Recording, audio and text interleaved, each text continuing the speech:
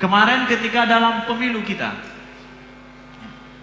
adakah ulama-ulama, pakar-pakar yang mengaum-ngaum atau berbicara keras tentang kecurangan-kecurangan yang terjadi dalam pemilu atau banyak yang diam? Adakah kecurangan-kecurangan yang terjadi? Apakah agama mentolerir kecu- kecurangan itu? Hal-hal yang seperti ini, orang-orang alim yang beragama tengku-tengku, ustadz-ustadz, siapa saja wajib kiai-kiai, bukan cuma di Aceh, tapi seluruh Indonesia wajib berbicara supaya Islam, supaya Islam ini dia punya suara di dalam masyarakat. Apa saja kezaliman yang terjadi, kesalahan pem- para pengatur negara atau pemerintah juga ini adalah bagian yang harus disuarakan oleh siapa? Kalau bukan alim ulama, kalau bukan orang yang paham agama yang menyuarakannya, maka orang sekuler yang akan bicara tentang masalah itu.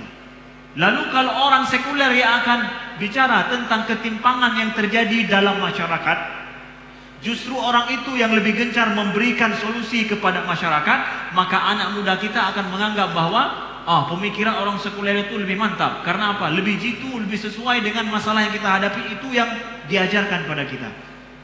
Jangan sampai masalah agama kita, masalah di masyarakat kita seperti ini, kita bicara agama sedih yang seperti itu, nggak ada hubungannya.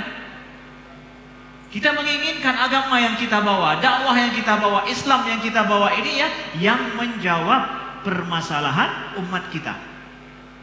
Islam mengatur masalah pemerintahan, kejujuran dalam masalah masalah pem- pemerintahan. Ini masalah besar. Adanya korupsi, betul. Korupsi tidak ada sebuah negara pun yang tidak ada korupsi. Indeks korupsi dunia 2018 mengatakan bahwa tidak ada negara yang tidak korupsi di dunia. Cuma, cuma negara-negara yang paling sedikit korupsinya itu semua negara yang non muslim. Indonesia menduduki posisi 89. Negara-negara muslim semua terbelakang. Yang non muslim justru yang itu. Nah, apakah kita akan berbicara itu adalah masalah yang biasa? Ya bicara masalah korupsi itu justru ya mungkin hanya KPK itu pun karena tugas. Tidak ada kita yang berkoar-koar betapa bejat, betapa sadis dan betapa bahayanya pengelolaan pemerintahan yang korup tersebut. Saya katakan pada pertemuan yang lalu ya, di Amerika Latin mereka mengembangkan sebuah metode bukan kita ingin belajar dari orang artian bahwa ingin seperti orang bukan bisa kita lebih baik daripada itu. Apa itu?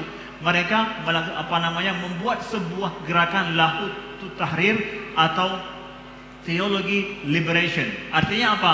Bagaimana membuat pembebasan umat atau masyarakat yang miskin dan tertindas ataupun sebuah negara yang otoriter mereka bisa keluar dengan menggerakkan pemikiran agama mereka. Yang mem, yang yang menjadi pelopor itu siapa?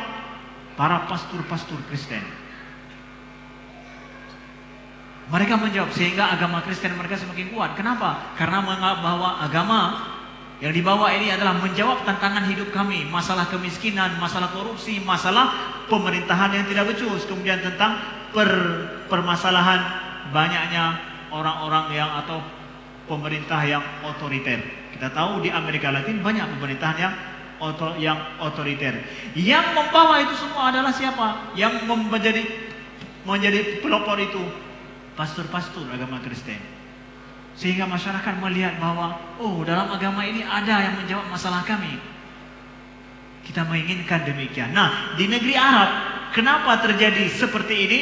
Penyebabnya salah satu adalah karena dianggap alim ulama banyak yang diam dalam permasalahan kecurangan dalam pemerintahan, ketidakadanya kebebasan dalam berbuat, dalam berbicara, kemudian dianggap bahwa para ulama banyak mendukung otoriter di tempat itu.